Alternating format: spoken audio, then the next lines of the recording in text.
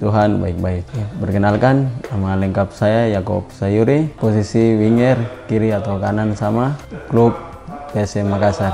Kalau boleh tahu arti nama lengkapmu apa sih? Sebenarnya saya dinamakan Yakob itu nama dari kakak kakak dari mama saya, makanya kita di Papua tradisi begitu kalau siapa dinamakan dari orang tua begitu. Makanya saya dinamakan dari mama kakak saya. Kalau Sayuri itu marga. Oh. Marga kan. Cuman dua ini ya, Yakob Sayuri aja. Ya Yakob Sayuri makanya dipanggil biasa Yasa. Ya, ya. Ya, saya anak berapa? Anak lima dari delapan bersaudara. Profesi Bapak Ibu, Kalau bapak nelayan, mama ibu rumah tangga. terus saudara-saudara yang lain sekarang pada Kakak ya, perempuan yang nomor tiga, ibu guru, dan yang laki-laki nomor empat, satu PP aja. yang lain Lainnya tidak yang kakak nomor yang tua almarhumah, oh yang nomor dua di rumah aja sarjana tapi di rumah aja nggak sibuk ya. Terus ada laki-laki yang di bawah saya Yance yang sama-sama dengan saya di PSM sekarang. oh iya itu itu kamu kembar atau kakak adik sama Yanjo itu? Gembar gembar gembar. Oh kembar lahir sama Ya, lahir sama satu hari cuma beda jam aja. oh sebagai anak kembar kalian tumbuhnya tuh gimana? Maksudnya kok kamu kalian tuh bisa memilih sepak bola gitu? Sebenarnya memang kita dari kecil dari SD memang sudah suka sama sepak bola. Kadang-kadang nonton di TV begini-begini jadi motivasi untuk kita sendiri juga. Makanya dari SD, SMP kita sering main bola. Jadi apa pun itu selalu sama-sama. Jadi kita kadang-kadang tidak bantu orang tua di rumah cuma karena main sepak bola saja. Jadi kadang-kadang di setelah pun tidak makan, kadang-kadang diusir dari rumah. Kita lalui saja demi sepak bola begitu. Karena kayak sudah jadi darah daging buat saya sendiri begitu. Masa kecilmu itu main bolanya di mana? Di tepi pantai atau di Punya di pantai, di kampung, di desa di depan rumah ada lapangan juga. Kadang-kadang di pantai kalau air lagi surut kita ke pantai, kalau air naik kita ke lapangan. Pokoknya hari-hari dengan bola saja begitu. berarti nggak pakai sepatu itu ya? Nggak, kalau dari SMP ke SD ke SMP emang nggak ada sepatu ada. Bolanya bola plastik atau udah bola? Dari bola plastik lah bola bola ini. Berarti bisa dikatakan kamu anak pantai ya? Ya anak pantai emang. Oh ya Serwi kan Serwi memang. geografisnya pantai ya. Di depan pantai, belakang pantai. Jika ada satu orang yang sangat berjasa dalam karir biasa, itu siapa? Semua karena coach Edward Rifak dalam. Ini yang Persipura soalnya saya belum tahu apa-apa tentang sepak bola. Coach ambil saya dari Liga 3 2017 Persebaya Open.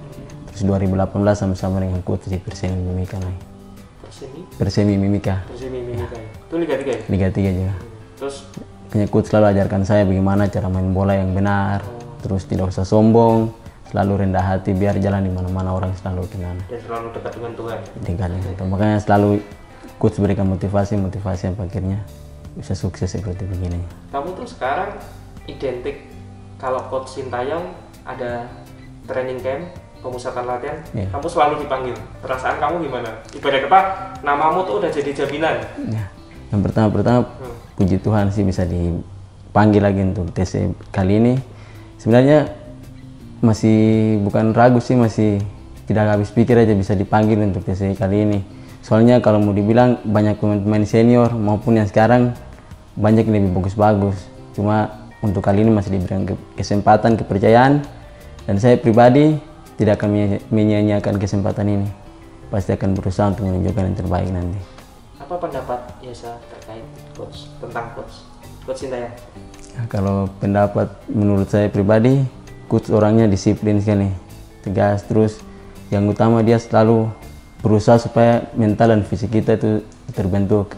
Soalnya bukan kita main di Indonesia saja, kita keluar lawan-lawan di luar juga mainnya keras. Makanya dia selalu untuk kita tuh harus fisik dengan mental itu kuat. Harapan Yesa terkait eh bersama timnas Indonesia apa? Kamu punya harapan? Ya kalau harapan saya pribadi pengen sekali dengan adanya saya di TC Timnas kali ini maupun skuad Timnas saya berusaha untuk bisa membawa Timnas lebih jauh lagi ke depan dalam arti mungkin yang belum pernah dicapai sebelum-sebelumnya di tahun-tahun yang akan datang bisa dicapai juga. Oh ya, kamu kan posisi winger sayap. Emang dari kecil tuh emang posisimu itu atau sebelumnya kecil kamu kiper atau striker atau back terus diubah sama pelatih? Tidak memang dari SMP sudah mulai ikut-ikut ajang-ajang sekolah, tarkam dari distrik, kampung. Memang dari kecil posisinya di situ sudah saya kiri kanan. Soalnya saya banyak yang bicara kau punya kecepatan begini mainnya begini, bagusnya di sini. Terus saya rasa nyaman di situ, oke saya. Berarti menurut kamu salah satu kekuatan kamu tuh di kecepatan. Iya kecepatan itu. Sekarang kalau kamu apa yang masih perlu diperbaiki dalam diri kamu dalam Kalau untuk yang diperbaiki mungkin keputusan sih keputusan Keputusan saat di saat iya di dalam lapangan Dalam lapangan. Kadang-kadang masih terburu-buru, butuh lagi lebih kapan tenang. harus Iya. diumpan, kapan harus di syuting gitu. Iya. Terus mungkin fisik lagi yang Fisik masih tambah lagi. ditingkatkan. 11 terbaik versi Yasa di Indonesia.